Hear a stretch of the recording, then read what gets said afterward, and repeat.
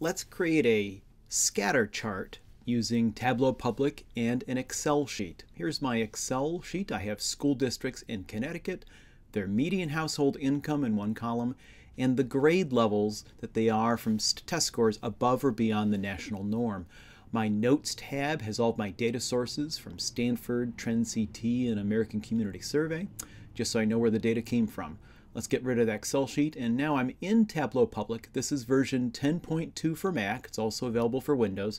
First thing you need to do is connect. You can connect to text files, Excel files, spatial data, statistical data sets. You can even go down, and if we wanted to, we could do this whole thing by connecting to a Google Sheet. But for now, I'll just go back up and do an Excel connection. So I'm opening up that Excel file and connecting it that I just showed you a minute ago. Now it's connected to my Tableau data source.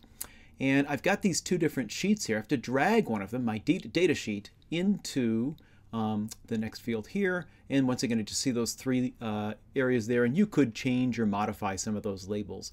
Here's the most important thing. Go to Worksheets, that little button in the bottom left corner.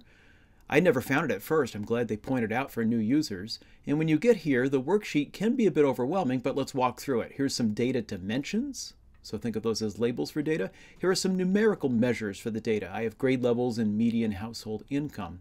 If you want to go back to your data source, it's just that tab there, but we'll flip back over to the sheet that we're in. And you can look at pagers, filters, marks, rows and columns, the sheet. That's the area where you're construct things. This is the show me area where they're trying to give you suggestions about how you could build different visualizations. But let's do this one manually here. I'm going to take grade levels and I'm going to drag that measure up and over and put it into my rows and I'm going to take the median household income and drag that up and drop it into my columns. Now at first glance it looks like I've just created just one point, but really it's aggregated all of those points into one spot. I need to go up to district, that's the dimension, and drag that down just into my markers area. Now I have a scatter chart where every dot indicates a school district and I can see their variables.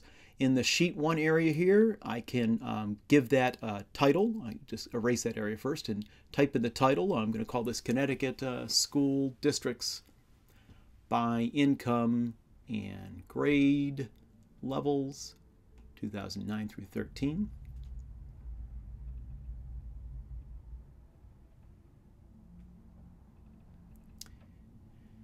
And I've got a title for this now. You could put in captions as well. I could make this wider, but let's go to the next step. I'm going to save to Tableau Public. And now I'm actually signing in to the Tableau Public web server.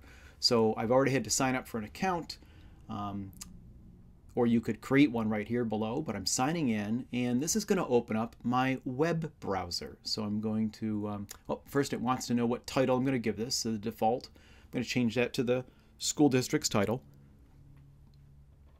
So I know what my book, my workbook is named. Hit save on that. And this is going to open up my web browser. So let's drag that into our view here. It's sending it over to the Tableau Public server. And here's my web browser. And you can see here that it, I have a visualization here on the Tableau Public server. And that's the title. Um, and it's telling me I can make changes here, like tweaking the title and so forth. I understand that. Um, let's just go down. Here's the live visualization. That's what it will look like for users on their screens. And what can I do with this now? Well, if I go up to Edit Details, you'll see all these options about giving it more title, um, description, and different options you can add in as well. I'm going to say cancel on that. And you can also go up and when people see this, there's the default those are the share. That's the embed code and the link, and read the embed chapter to learn more about how to embed this in your website.